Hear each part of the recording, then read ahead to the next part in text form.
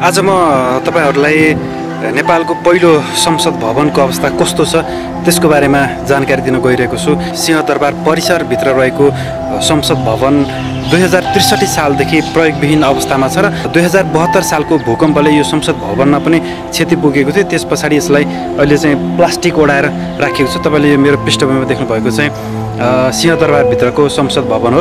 र यो चाहिँ दुई हजार चौसठी सालको संविधान सभाको निर्वाचन पछि बनेको संविधान सभा र संविधान सभाले नै काम गर्ने गरी बनेको संसद पछि चाहिँ यो प्रयोगविहीन अवस्थामा थियो।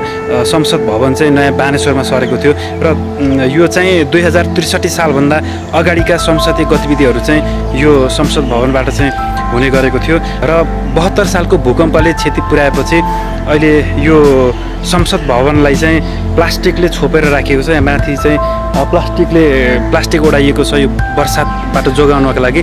यद्यपि यो संसद भवनको विभिन्न ठाउँबाट पानी चुहिएको छ र ठाउँ ठाउँमा चाहिँ झारहरू पलाएको त्यहाँ चाहिँ बोट बिरुवाहरू उम्रिरहेको पनि देख्न सकिन्छ।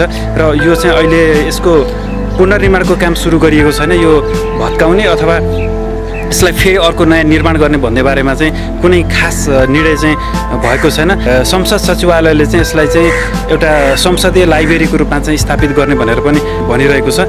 भूकम्पको झन्डै चार वर्षसम्म पनि यसको मर्मत सम्भार गरिएको छैन।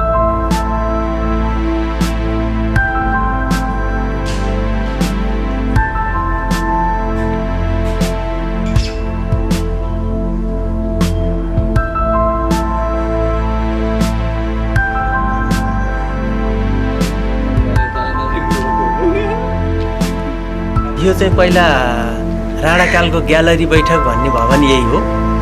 त्यसपछि आएर पञ्चायतकालमा पनि राष्ट्रिय पञ्चायत भन्ने भवन पनि यही हो। मलाई चाहिँ अडचालिस सालको सडचालिस सालको चुनाव पछाडि मात्रै मैले थाहा पाएको हो यो भवन।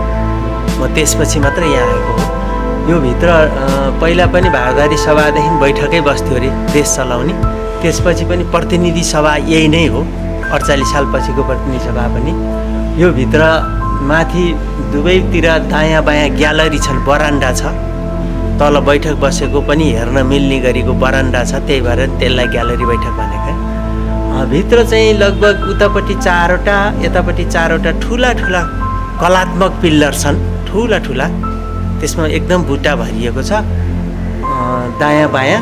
अनि मान्नेहरूको लाइन चाहिँ ठ्याक्क बिचमा उताको पिल्लरको लाइन र यताको पिल्लरको लाइनको बिचको भागमा मात्रै मान्य मन्त्रीहरू बसिन्थ्यो त्यसभन्दा उता दर्शक ग्यालरी हो।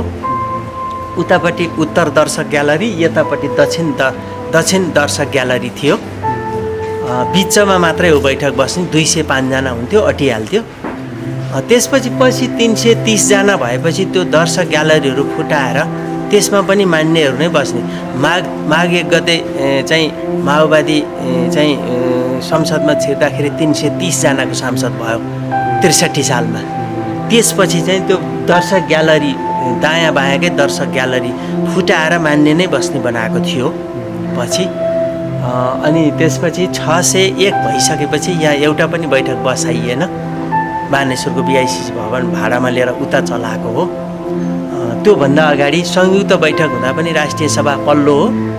यो प्रतिनिधि सभा दुईवटा संयुक्त बैठक हुँदा पनि यहाँ कुर्सी जोइन गरेर साठीजना यता अरू एडजस्ट गरेर बैठक बसाइन्थ्यो। राजाले सम्बोधन हुँदा पनि यहीँ हुन्थ्यो संयुक्त बैठक। त्यो हो। यो भित्रको अवस्था भनेको चारैतिर राणाहरूले चाहिँ नि पहिला बर्दाको शिकार चितौनको शिकार भनेर राणाहरूले चाहिँ हात्ती चढेर हात्ती चढेर बाघ मारेका मजाका चाहिँ पोस्टरहरू चारैतिर बडे बडे ठुला ठुला पुरै भित्ताभरिभरिका चारवटा पोस्टर थिए। ती पछि अहिले सुरक्षित राखिया होला त्यहाँ छोपेर। त्यो थियो। ठुला ठुला ढलोटका ठुला ठुला सिंह छन्। बिचमा सिंहासन राखिन्थ्यो। राजा आउँदा बस्ने त्यो दायाँ बायाँ ठुला ठुला उचाल्नै नसक्ने टाइपका पित्तलका सिंह छन्। बिचमा एउटा मञ्च छ। त्यो हिसाबले चाहिँ त्यो मञ्चको ठ्याक्क बिचमा सिंहासन सिंहासनको ठ्याक्क एक स्टेप तल चाहिँ सभामुख महासचिव प्रतिनिधि सभा सचिव अनि अरू कार्यव्यवस्थाका कर्मचारी ट्याक्क लाइन बसेर ठ्याक्क सबैको अनुहार देखिने गरी सभामुखले देखिने गरी बैठक चलाउने मञ्च छ यहाँभित्र। त्यो अनि त्यसको ठ्याक्कै उतापट्टि सभामुखको राइट साइडमा रोस्टम छ। जसले रोस्टममा आएर बोल्नु पर्यो मन्त्री प्रधानमन्त्रीदेखि अरू पनि छलफल हुँदा त्यहाँबाट बोलिन्छ। अरू सामान्य चाहिँ त्यहीँ माइक कुर्सी पछि माइक छन्। सामान्य बोल्दाखेरि माइकबाटै बोलिन्थ्यो। त्यो अवस्थाको बैठक हो यो। अब अहिले भूकम्प गइसकेपछि जीर्ण अवस्थामा छ।